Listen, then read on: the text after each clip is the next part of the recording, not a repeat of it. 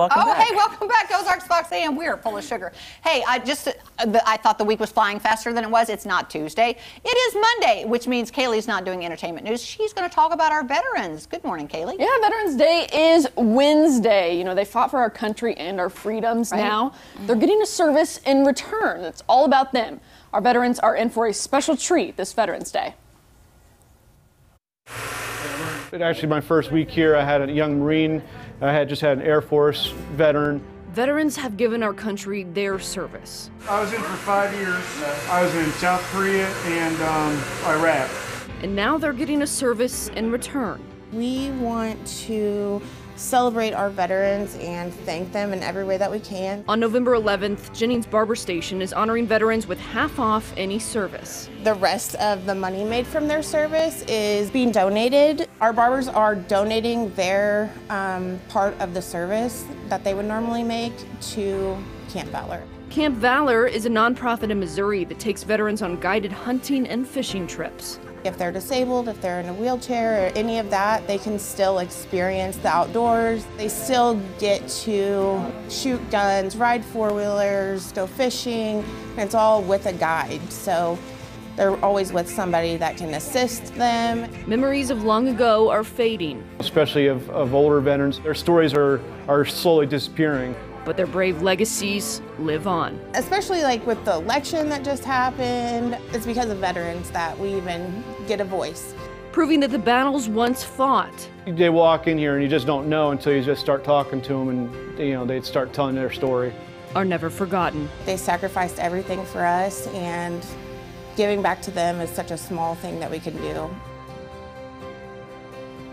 There's also a raffle going on until November 11th at Jennings Barber Station in Republic, with the drawing taking place the day after, November 12th.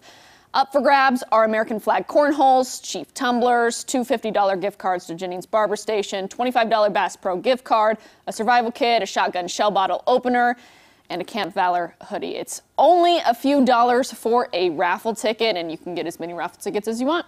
That sounds great. I love that they're giving back to the veterans. That's that's Yeah. incredible. Love Again, that. those half price haircuts and other services for veterans are it, that's all happening on Wednesday, and the rest of those proceeds are going to Camp Valor.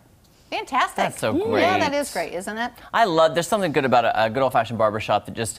I, I get my hair cut at a barbershop, and Yeah. I just like it. There's something about it. Yeah. And it just makes you feel like you're stepping back in time, and Yeah. you know.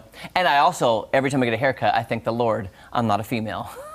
Yeah, It takes you guys so long to get your hair it cut and colored. It does take. Oh, It well, takes yeah, that forever. is true. I worked in a barbershop for a little while, and there is something nostalgic about it. Yeah. It. it you I, I know, no, yeah. it really is. I, I appreciate that. Yeah. Speaking of back in time, if someone is just listening to this segment right here, we threw it back in time today Mm-hmm. because it was supposed to be the last day in the 70s weather-wise, so we thought we would do a 70s sort of theme today. And I, you look fabulous. You I- Where'd you get those boots, Kallie? I have had them since high school. Have you really? Yeah. They're Um, super cute. They are super cute. Good cute. thing about feet is they don't grow. Oh, What? hey, Kallie, What? you're not you're not old enough to know that answer. Uh, yeah, they do. I was like, Yeah, wait do. a minute. Yeah. I thought feet. Do, I had. No, well. Uh, let do me they? just tell you that um, yes, I've talked to many people uh, after pregnancies and, and just after you're living your life. My feet are definitely a size bigger than they were 20 years Are ago. Are you serious? Absolutely. I do know that men's noses and ears grow as we get older. That's right. I do know that's coming. By the way, I want to point out like- my 70s socks as Yeah. well. This is Bob Ross from the 70s. Yes. Happy little trees. Happy Even my socks are 70s. That's great. We're all, hey, Kallie, you've got little feet to start with, so you're, you're not you worry about it. No worries about that. Okay. Hey, guess what? Up next, we're getting all the details of this year's Branson Market Days put with Jana Goodwin. Yeah, me. Should we hustle it out, y'all? Let's hustle it out.